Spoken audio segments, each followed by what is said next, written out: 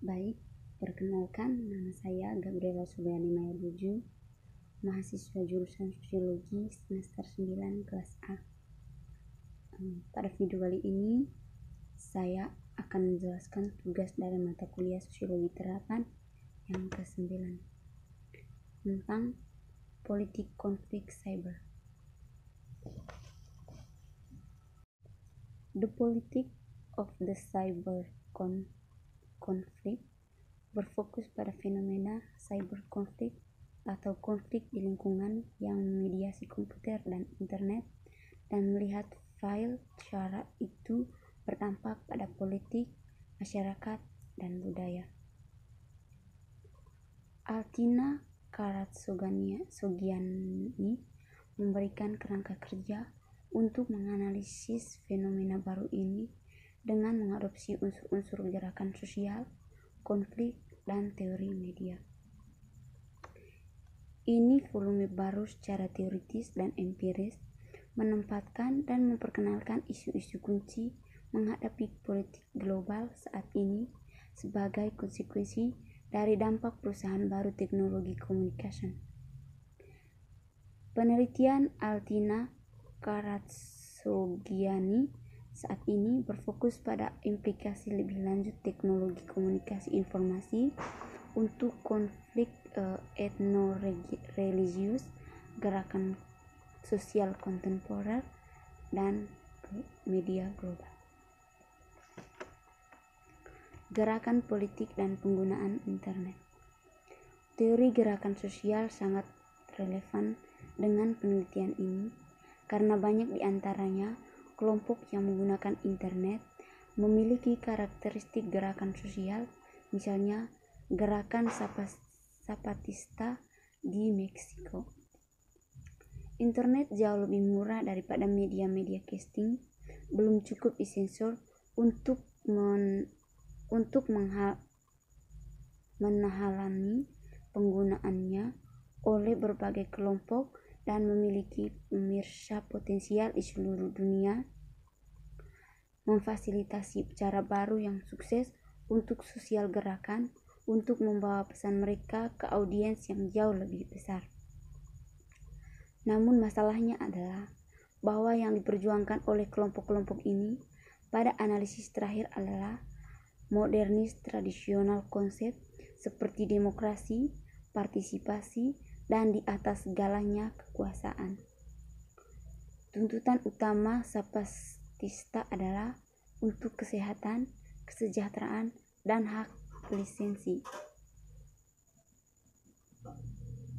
Dalam perjuangan ini, internet berfungsi sebagai media melalui mana tuntutan untuk hak-hak ini dan perjuangan di sekitarnya hak dapat dikomunikasikan. Hak informasi muncul di sini sebagai hampir tatanan politik kedua, melayani hak tingkat pertama atas kesehatan, kesejahteraan, dan kewarganegaraan penuh. Ketika interaksi dasar dan jaringan terutama dilakukan melalui internet, waktu, dan ruang tidak lagi membatasi keterlibatan individu. Dalam hal ini, kepadatan kelompok sosial yang menjadi sasaran gerakan yang digambarkan sebagai elemen utama dalam membuat tindakan terorganisir harus didefinisikan ulang. Politik di luar pemerintahan batas dalam organisasi non-pemerintah atau LSM atau lebih luas lagi dalam sosial pergerakan juga akan direstrukturisasi oleh pergeseran dalam komunikasi informasi. Yang paling sering dibahas dalam konteks ini adalah pemberontakan Zapatista Zapatista di Meksiko di mana apa yang di awalnya tampak seperti perang gerilya dengan cepat menjadi perang media. Cyberspace menawarkan media di mana orang dapat berinteraksi dan mengordinasikan mereka tindakan tanpa mengandalkan kontak tatap muka. Contoh yang berkembang dari ini adalah gerakan anti globalisasi yang pesertanya terorganisir secara berat melalui internet.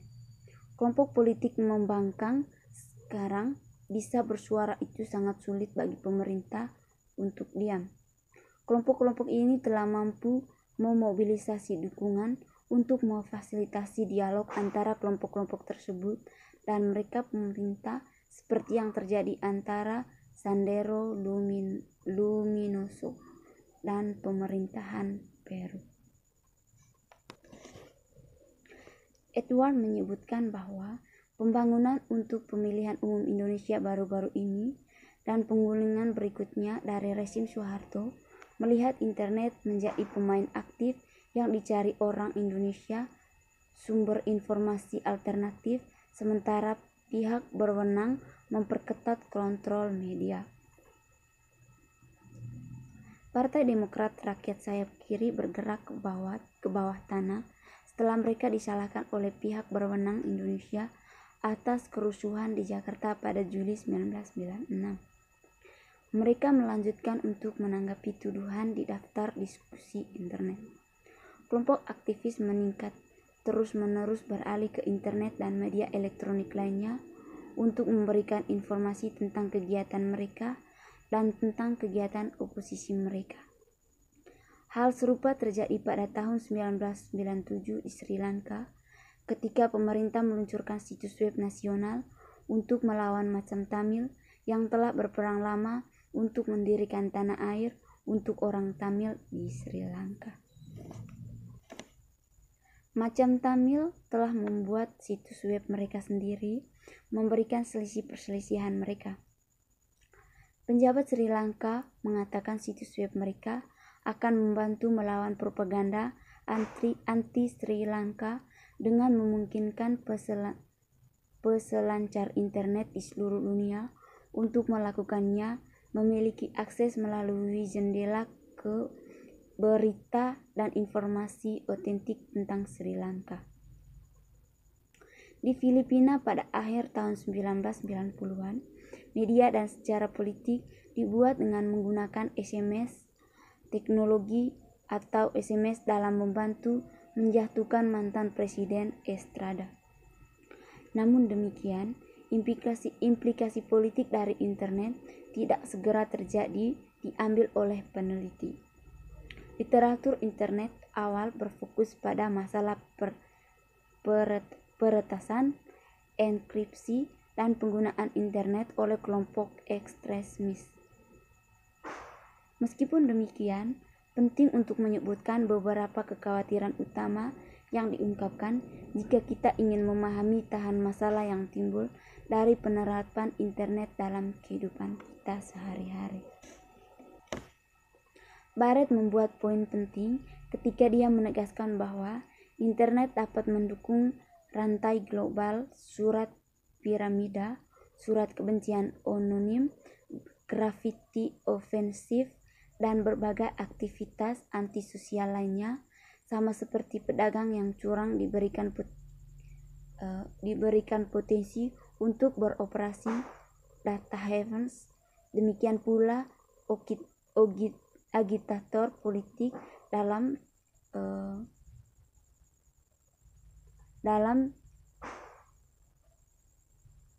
Bangunan Inggris dilindungi oleh FTP Oninom, Oni, Oni, Anonym Server dengan artikel lintas posting yang rumit atau dengan menggunakan akses dial ke beberapa mesin negara lain. Tentang penggunaan internet oleh para ekstremis, Ratmel berpendapat paling banyak berkomentar kepada pengguna teknologi informasi dan komunikasi telah menjadi uh, milisi sayap kanan di Amerika Serikat. Gerakan oposisi Islam berasal dari Nating di Timur Tengah dan kelompok penekan isu uh, isu tunggal seperti lingkungan aktivis mental atau aktivis hak asasi manusia. Namun mereka mungkin ber, berbeda dengan tujuan keanggotaan atau ideologi. Semua kelompok ini telah beroperasi eh, telah berbeda cepat memanfaatkan TIK untuk propaganda dan operasi psikologis. Banyak meng mengasuransikan tuan-tuan dari Irak sementara melalui Sopastista Meksiko hingga Lebanon Hizbullah telah memasukkan TIK dalam propaganda mereka yang lebih tradisional dan kegiatan penggalangan dana. Mereka memiliki situs web dan juga surat kabar. Merengek menulis sebagai berikut. Pihak berwenang, pihak berwenang Jerman mengungkapkan keprihatinan yang meningkat tentang internet internet bersih. Mereka telah mencatat mencatat pertumbuhan halaman muka paling kanan dari 30 pada tahun 1996 menjadi 90 pada tahun 1997 dan cara para hooligan uh, sepak bola dimobilisasi selama seri Piala Dunia Sepak Bola tahun 1998 oleh Nazi Jerman melalui situs web mereka.